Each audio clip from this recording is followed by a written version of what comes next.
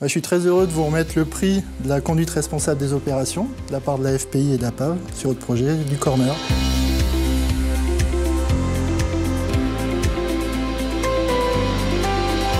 C'est une, pyramide qui, récompense une démarche globale tout au long de la vie du projet. C'est un petit projet euh, pour SLC qui comporte que 20 logements, mais euh, dont on est très fiers et euh, on est très heureux de recevoir ce prix. L'une des valeurs la, plus fondamentales de ce projet, c'est son insertion urbaine, puisqu'il est situé à l'angle du boulevard Iffarge qui comporte des arbres de grande hauteur, qui comporte beaucoup de circulation, et puis la rue Bollier qui est une échelle qui est beaucoup plus petite. Et il s'agit finalement de faire une rotule entre ces deux particularités urbaines. Et ce projet, s'il s'appelle Corner, c'est pas un hasard, c'est qu'il a ce rôle-là.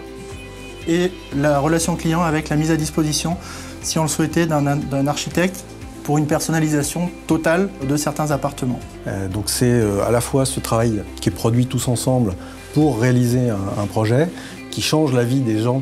Sur la conduite responsable, on a aussi développé sur cette opération un partenariat avec euh, la Maison de l'Emploi et de l'Insertion. Finalement, tout le monde a sa part dans la conception. Il n'y en a pas un qui domine par rapport à l'autre et, et c'est sans doute de cette manière-là qu'on arrive à faire un bon projet.